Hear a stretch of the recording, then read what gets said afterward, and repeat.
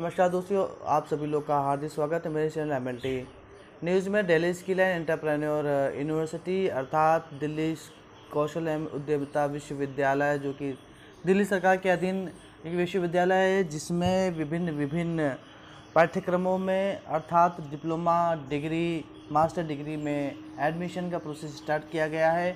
साथ ही पैरामेडिकल के विभिन्न विभिन्न कोर्सेज जैसे कि BSc in medical lab technology BSc in optometry special courses में BSc in medical emergency technology और बीएससी इन डायलिसिस टेक्नोलॉजी में एडमिशन प्रोसेस स्टार्ट किया गया है। तो जो भी साथी लोग, जो भी जिन्होंने ट्वेल्थ बायोलॉजी से पास आउट कर लिया है, अगर वो लोग दिल्ली में अपने पैरामेडिकल के विभिन्न विभिन्न कोर्सेज में एडमिशन लेना चाहते हैं तो इसमें आप ज़रूर प्रयास कीजिए।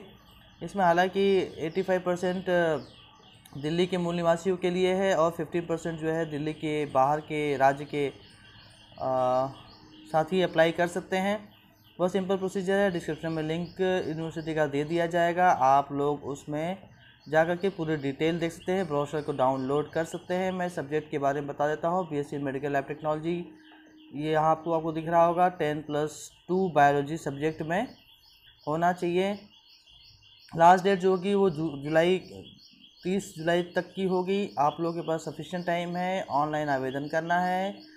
और, जो फ़ीस है फ़ीस के बारे में मैं यही बता देता हूँ, क्योंकि बहुत सारे लोग जो है लंबा वीडियो पसंद नहीं है तो फोर्टी फोर थाउज़ेंड जो है फ़र्स्ट ईयर में है forty six thousand second year में है, उसके बाद फिफ्टी थाउज़ेंड थर्ड ईयर में है। हालाँकि यूनिवर्सिटी बहुत अच्छी है और इनके, इनमें प्लेसमेंट के चांसेस बहुत ज़्यादा है। इनके डायरेक्ट हॉस्पिटल से लैब से मल्टी नेशनल कंपनी से जो है टाइप है। तो ये प्लेसमेंट पास होने के बाद प्लेसमेंट आपका इजीली करवा सकते हैं और भी विभिन्न विभिन्न सब्जेक्ट्स में जो है कोर्सेज संचालित किए जा रहे हैं इस यूनिवर्सिटी के द्वारा, जिसमें डिप्लोमा इन इंजीनियरिंग में है। उसके बाद जो है डिग्री की कोर्सेज हैं मास्टर डिग्री कोर्सेज हैं और सोशल साइंसेस के भी कोर्सेस हैं। तो आप लोग जो है ज़्यादा समय ना वेस्ट करते हुए आप लोग अप्लाई कीजिए और किसी भी प्रकार का कोई समस्या आती है तो तो कमेंट बॉक्स में कमेंट कीजिए, हम यथाशीघ्र आपकी समस्याओं का निराकरण करेंगे। बहुत का बहुत धन्यवाद।